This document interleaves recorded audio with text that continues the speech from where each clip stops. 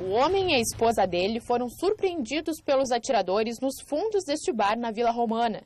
O casal foi atingido por vários tiros de pistola calibre 9 milímetros. O crime aconteceu nesta rua, na zona norte de Londrina. Dois homens desceram de uma moto, entraram nessa casa onde estavam as duas vítimas e efetuaram os disparos. O homem morreu no local. Levou um tiro no tórax. A mulher levou um tiro de raspão na cabeça e foi encaminhada ao hospital. Avistamos uma das vítimas ali em frente à residência, sentada numa cadeira, bastante agitada. Já constatamos ali que nenhum disparo é, acertou ela efetivamente, né? É, por sorte, levou um tiro apenas de raspão na cabeça. Por totalmente mais tranquila, fomos até o outro ali, no interior da residência.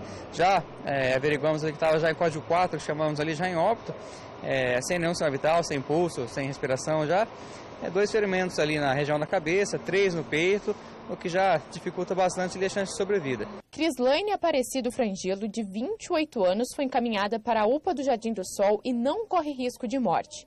A vítima fatal, Alain Maximiliano Nascimento da Silva, de 27 anos, já tinha diversas passagens pela polícia por crimes como desacato e porte ilegal de arma de fogo. O rapaz estava usando uma tornozeleira eletrônica. Por isso, uma das suspeitas iniciais da polícia é de que o crime possa ter sido motivado por algum acerto de contas, mas outras hipóteses também estão sendo investigadas. No local do crime, muitos curiosos se aglomeraram para acompanhar o trabalho da polícia.